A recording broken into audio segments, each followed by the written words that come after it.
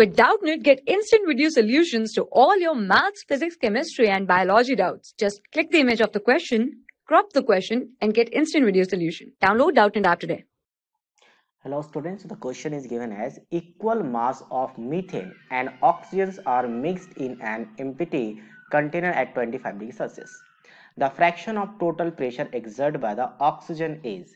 So fraction of total pressure exerted by the oxygen that you have to find here. So what we can see, uh, what we can uh, find first of all, we can find number of moles. So let's suppose equal masses. So mass of the methane is W. So mass of mass of oxygen also will be W. So what will be the number of moles of methane? The number of moles of methane means CH4 will be the given mass W by molar mass is 16. After that number of moles of oxygen O2 given mass again W same mass is given and molar mass of oxygen will be 32.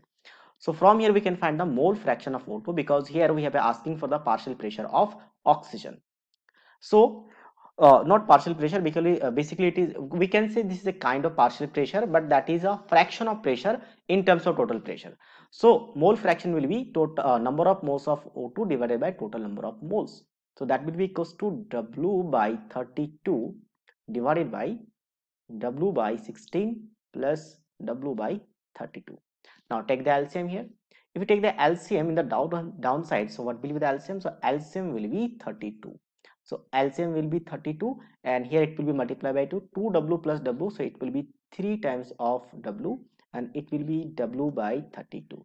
So 32 will get cancelled out. W also will get cancelled out. So mole fraction will be equals to 1 by 3. So what will be the partial pressure of O2?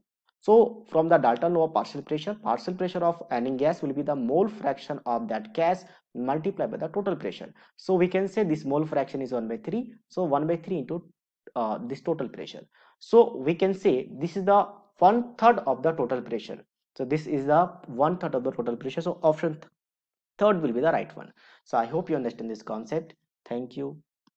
For class 6 to 12 IIT JEE and NEET level trusted by more than 5 crore students. Download Doubtnut app today